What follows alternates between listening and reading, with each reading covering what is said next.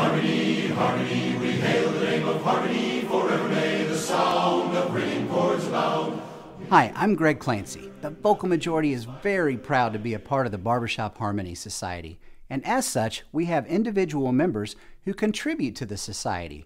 We have judges, we have people that have worked backstage every week at the international contest, even a past board member of the BHS. Giving back is one of the central themes of being in Vocal Majority. In a moment, you're going to hear from some of our guys who go above and beyond and volunteer with the Barbershop Harmony Society.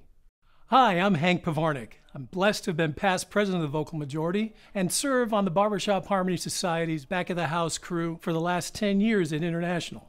Hi, I'm Eddie Martinez. I'm one of the crazy guys that drives 430 miles round trip to come and sing with the Vocal Majority. Hi, my name is Anthony Bartholomew. Uh, I'm very fortunate to be able to sing with 150 of my closest and best friends here in the vocal majority. Hi, my name is Gary Parker. I got the opportunity a few years ago to serve on the Barbershop Harmony Society's board of directors. It was a great experience, and it gave me the opportunity to take some of the things that we've learned in the vocal majority and apply it in a bigger way to the whole Barbershop Harmony Society. Been a member since 1987.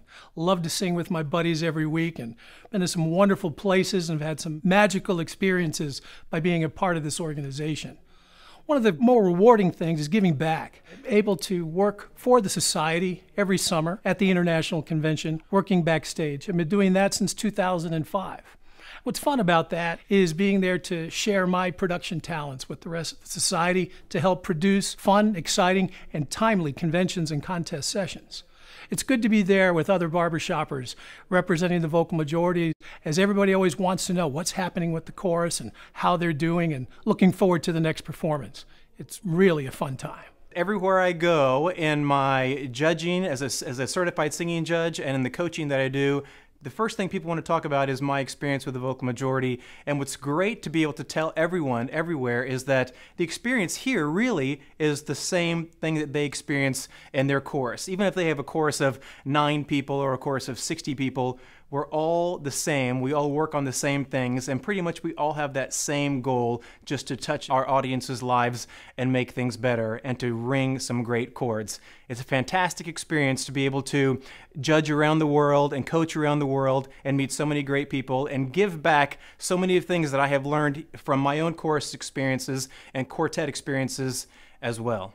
I feel like I get so much in terms of singing with the VM and becoming a judge and being a judge and going out to other contests and writing down numbers and giving evaluations and feedback is one of my favorite ways that I can give back. I feel like I get so much from being here that it's it's important for me to be able to give back to the community that is the Barbershop Harmony Society, and that's one way that I really enjoy to do it. I'm a charter member and bass section leader the vocal majority. I've been involved with the chorus for a long, long time and it's been a great experience and couldn't have done it without the experience I had in the vocal majority. Thank you so much for watching this video. We hope you've enjoyed this opportunity to get to know the men of the vocal majority. Harmony just